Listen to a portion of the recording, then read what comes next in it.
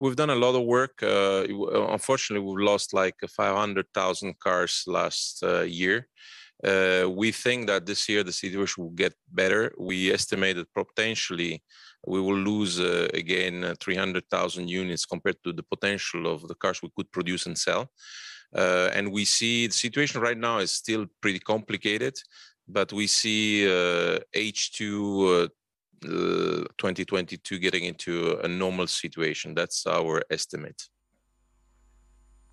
So, what does this mean for product mix? Rosanna asked about the value over volume strategy, and clearly it has paid off your focus on more lucrative models.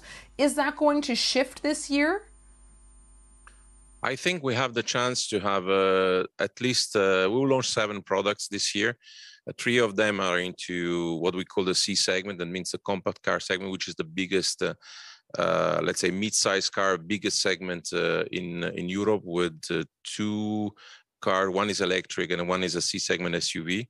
And obviously that will have an, an effect on our profitability and our potential to reconquer market share in uh, many markets. So I think it will be, it will start to be product uh, uh, driven, the recovery, not only because of the work that we do on the efficiency of the system. So it's a kind of a, will be kind of a different game.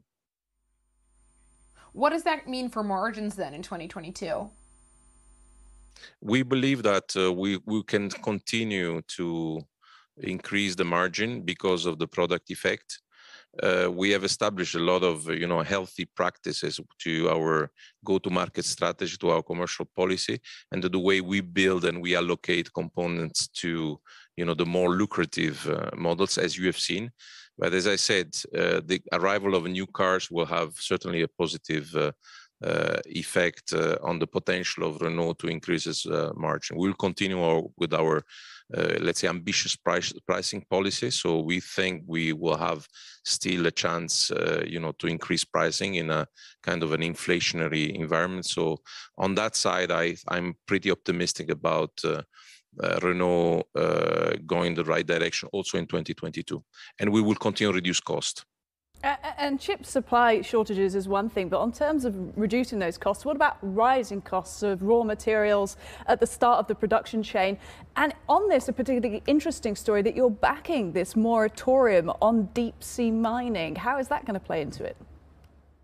Now, these are two different things. I, I believe there's not much connection between, between the two things. One is a kind of a, uh, ESG responsibility decision that uh, that Renault has taken to position itself on the matter, which is very consistent with the, our ambitions uh, ESG plan to protect the environment, so to have a very clean uh, and traceable uh, supply chain of materials.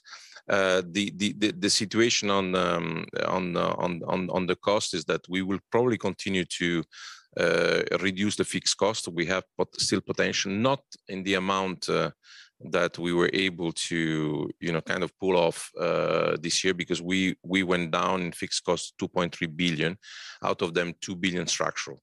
So we will not get the same speed but we'll continue the work.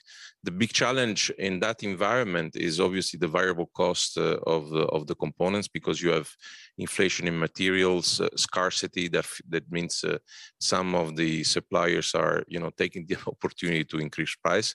But the performance of purchasing area was very good this year.